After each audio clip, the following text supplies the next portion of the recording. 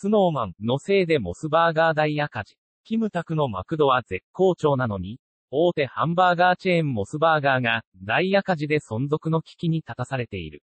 この裏には、スノーマンの影響があるという。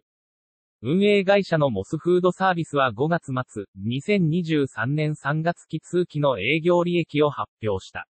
資料によると、営業利益は4100万円と、なんと前期比98.8%の大幅減。